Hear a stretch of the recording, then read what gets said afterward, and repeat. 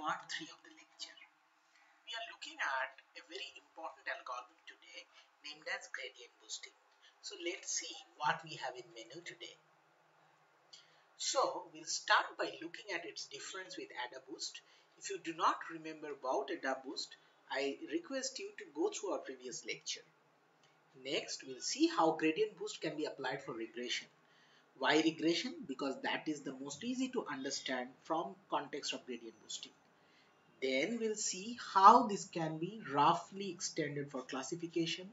Finally, please understand that boostings are complex models has lot of parameters. So they will have a tendency to feed the data more, tendency to overfeed. That's the reason a discussion on regularization is must. So let's start with an introduction to AdaBoost. So if you remember, AdaBoost builds stumps. Stumps are very simple trees which has just one decision node and then leaf nodes. And there every observation gets different weights. So earlier whatever algorithm we have studied, every observation, every row has equal weight. But in AdaBoost, while the first decision stump gets trained, all observations have equal weight. However, if some observations are getting misclassified, let's say row 2 and row 4 are getting misclassified, in the next stage, in the next term, the weight of these observations will be increased and all other weights will be readjusted so that the overall weight is still 1. And the trees also have different voting power. What is the meaning of that? That means that in the final prediction every tree has different say. And the say is proportional to its accurate classification capability. Okay? So our stumps will just look like this. And this picture also tells you that these models are built sequentially. So it takes the data looks at the errors. On the basis of that error next model is built. And that's how it proceeds. However Gradient Boost builds fully grown trees, no longer stumps, and it doesn't increase the weight or increase the misclassification cost. However, it tries to fit residual of the previous tree. We will see how that works in a minute. And please note, gradient boosting is one of the front runner models in data science competitions. However, it is a very black box model and is difficult to understand. In this lecture, we will try our best to unpack the model step by step for you. Let's get started with a regression. In this dataset, we have considered x1 and x2 are the independent variable. Using that, we are going to predict y, right? So this is a regression problem. And you are going to build trees sequentially, right? So what the first tree will be? Let's see that. The first tree will have just one leaf. What is the meaning of one leaf? The meaning of one leaf is for all the seven observations, it will predict only one value. What will be the property of such value? The property of such value will be that it should minimize the residuals. Do you remember what is residuals? So, if these red circles represent the actual values, by regression, what you try to do is you try to fit a line. What is the property of the line? The line should minimize the residuals. And what is the residual? Residual is nothing but the actual minus predicted, observed minus predicted. So for this observation, this perpendicular is your residual. Okay. So if we take this one value, what will be that value which minimizes the residual? It will simply be the average of the seven values.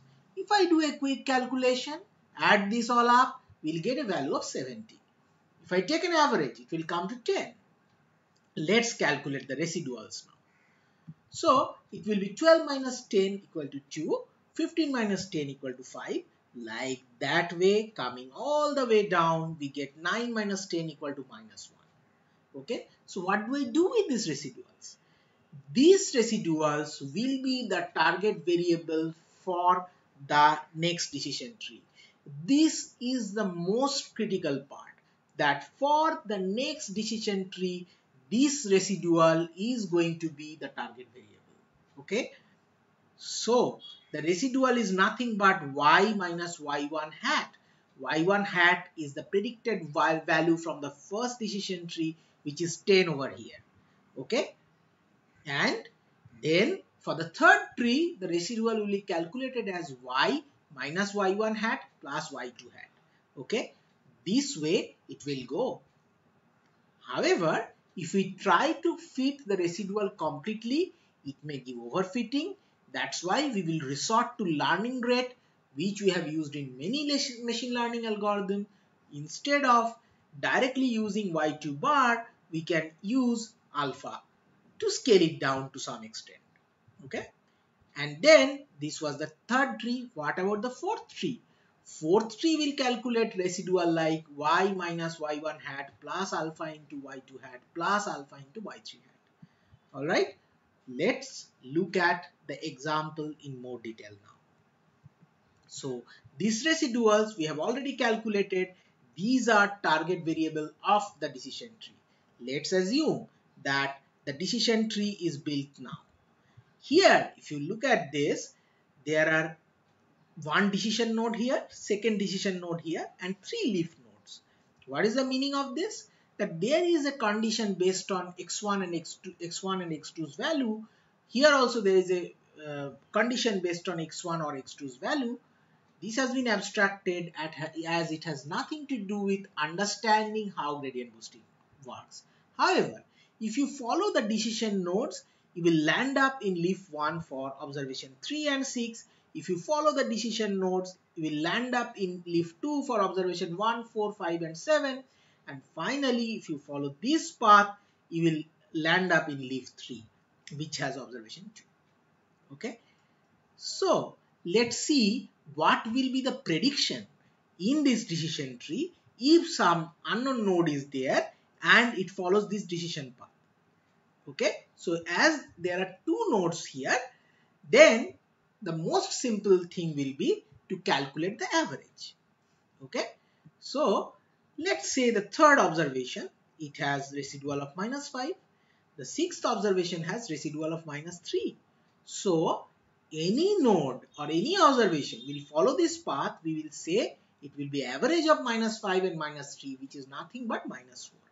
Similarly, we can calculate for 1, 4, 5 and 7 which comes to be 0.75 and for leaf 3 which has only one observation 2 or the second observation for that the residual is 5 okay? So that's how the this tree's prediction is going to be. Now how we can calculate the predicted value using the first decision tree and the second decision tree what we do is we show the observation only for the first three observations okay and for each one of them, we start with the prediction that the first decision tree makes. So all of them starts with 10. For the second one, for the second component, we use a learning rate of 0.2. And for the first observation, if you follow this decision path, this comes to this leaf 2. It, it predicts the value to be 0.75. So it will be 10 plus 0.2 into 0.75, which is 10.15. Let's check out the second observation. Second observation means it will come here. It predicts the value of 5. So I will do 10 plus 0.2 into 5 equal to 11. Now let's look at the third observation which is 10 plus 0.2 into minus 4. Third observation is here. So here I will get 9.2 and the residual here will be 5 minus 9.2 or minus 4.2. So this is the residual of the second decision tree. This will act as the target variable for the third decision tree. Okay, so we have just written the residuals for all of the observations over here. If you look closely, there is a pattern emerging for each of the observations. The residuals are going down. So together the decision trees are making better and more accurate prediction. Let's just extend this calculation little bit further. Okay, So let's assume the decision tree will still have the same structure with two decision nodes and three leaf nodes. Okay, let's just look at one example further. Here, if we come to leaf 1, now for third observation, it is minus 4.2 and the sixth observation, it is minus 2.2. So, the average is minus 3.2 here. It has reduced from minus 4. Now, for the third observation, for the third tree, if we are predicting, it will have three components. The first component comes from the first tree, which has just one leaf, 10. From the second tree, we are getting 0.2 into minus 4. And for the third tree, we are getting 0.2. Learning rate is still 0.2 and the prediction is minus 3.2. So the summation is 8.56. Residual is 5 minus 8.56 or minus 3.56. So gradually it is going down. Okay. So that is how, you know, the different trees added sequentially will bring down the residual. One important question how long we will work like this? So you can have a predetermined number of trees or you can see where your loss rate or where this residual is not changing much. So there you can take a decision and stop. All right now let's look at this is the boosting part what it has to do with gradient if you remember if we use linear regression we deal with residuals and from gradient descent, we know that the loss function is observed minus predicted square. Okay, so this is the loss function. And what do we want to find out? We, wa we want to minimize this value using the gradient of the function with respect to predicted. Okay, and the loss function can be trivially multiplied by half. So if some values of predicted minimizes L, half the same value of predicted will of course minimize half of L. So without any change in the formulation, we can take L equal to half into sigma i observed i minus predicted i square. Very quickly, you will understand what was the need of this juggling.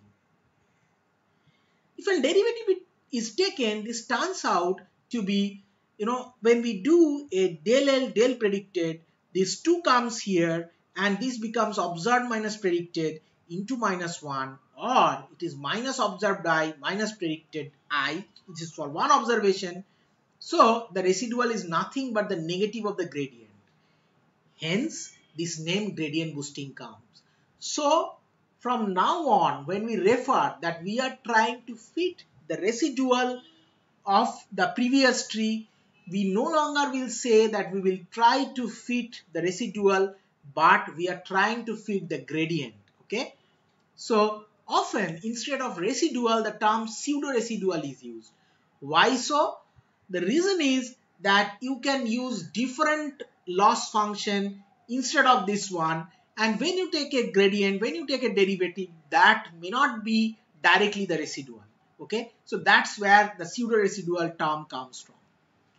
When we say that let's look at another loss function so let's say these are your yi actual values and this is your fxi which you have predicted. What is the loss function? Loss function is yi minus f square by 2. So when we calculate this, these are the values that we get. Any observations that you have?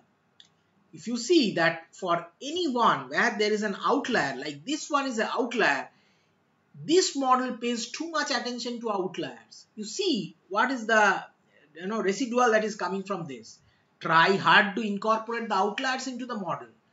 That degrades the overall performance. Are there any other loss function? Let's discuss just one of them. One of them is called as Huber loss which is a function of y and f. When it is less than is a value delta then you have the same loss function. However if it is more than delta then you scale down the value so let's see how your loss calculation changes now so if you use the square loss now this is how it comes to be and if you use Huber loss with a delta of 0.5 you get values like 0.05 0.02 there is no change here because if you remember if it is less than delta there is no change however if it has a if it is an outlier the value is quite, quite, quite scaled down. Okay. So that allows us to build a much better model. Essentially, why we discuss this loss function? To tell you that instead of the squared error, you can have a different, uh, different loss function. That different loss function can have a different gradient, which is different from residual. That's why we call it gradient boosting, not residual boosting. Okay, so this is the algorithmic format. Don't worry too much about it. We will try to, whatever we have discussed, we'll try to just map with that. So, let's say we have a training set with xi and yi and a differentiable loss function. As you are taking a derivative, you need a loss function which is differentiable. And number of iterations m means that actually you are building capital M trees. Okay. So in, you initialize your model with a constant value. Alright. And what is this constant value? This constant value. So this equation just gives you the average value. Alright. And then what you do is you compute the so-called pseudo residual. You remember for each one of the observations we were calculating the residuals and as you can have different pseudo value okay so or different loss function you call it a pseudo residual and as usual you are taking the derivative negative of the gradient. You see? Okay. Now you feed a base learner. So this becomes your target now like the way we saw in our uh, data set. So this is what is your uh, training set now. And now you are doing some math to find a gamma. Okay? So what is this gamma actually? So gamma is as i said that when there are multiple nodes following in the same leaf node right? In this case okay? So there are multiple nodes we are following in the same leaf node. What is happening? We are taking an average right? So instead of average we can have some different function which better minimizes the loss. So for that, you can use a parameter like lambda. Okay. And gradually, if you see what is happening is you are uh, you are trying to find out this lambda which minimizes this loss function. And for each layer, you are building the model. So the last layer, your model was fm minus 1x. Now you are getting, as you remember, a model is always represented by the hypothesis. So by hmx and uh, you are you have already found the parameter so you multiply that and this is the model that you have so after m steps it will have m terms from each one of the decision trees. Okay? If you do not understand this completely do not worry about it. I have understood or, or told you the concept and now if you try to map it roughly this should make some sense to you. Okay. Now let's come to classification. Here, this is more complex than regression. However, this can be again treated as a regression problem, following the concept of logistic regression. Do you remember that what we were regressing in logistic tree and what we are going to regress here? So, instead of regressing one tree as in regression tree, we regress k trees, one for each class. If there are k classes, what we do, do over here? We build k regression models for that. And for each regression or each tree, what we are regressing? We are regressing the log odds, if you remember, right? Probability of x, where x equal to, where x means y equal to 1 given the value of x.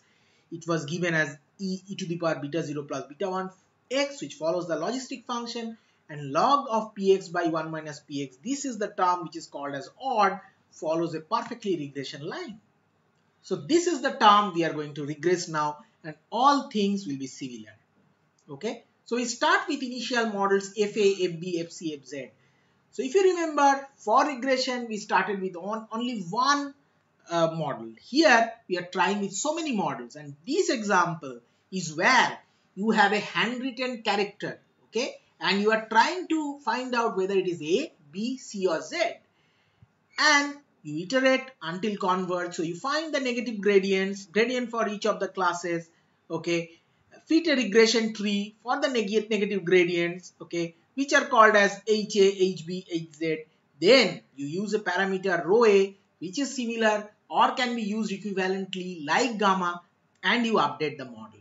So it is similar manner only thing is that instead of one model to start with you are starting with n models where your number of models is equal to the number of classes. Also the loss function is different here. We are no longer trying to minimize the squared loss. Here we are focusing on the logistic regression values. Okay. All right. So here if we if you uh, look at one example as I said that in the problem we are trying to find out uh, trying to find out the probability of each of the classes. So he, here you have 26 uh, Uh, classifiers for alphabets A to Z. Okay. And this is the true probability value. That means that actually this was a G. Okay. So this is the true probability distribution. When you start your model, every tree is similar. So it may be something like this where all of them has equal probabilities. After certain iterations, okay, based on the shape maybe G, Q, R starts to emerge, starts to take higher values, right?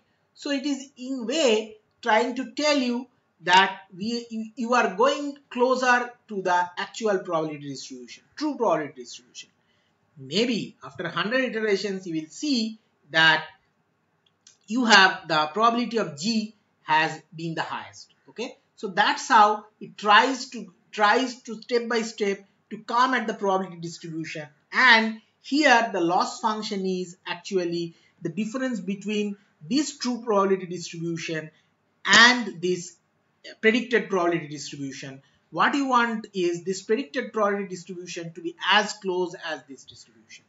There are several ways to find the difference between or use a loss function which compares two probability distributions. Now coming to the regularization part, as I said, this is a complex model and it will have a tendency to overfit.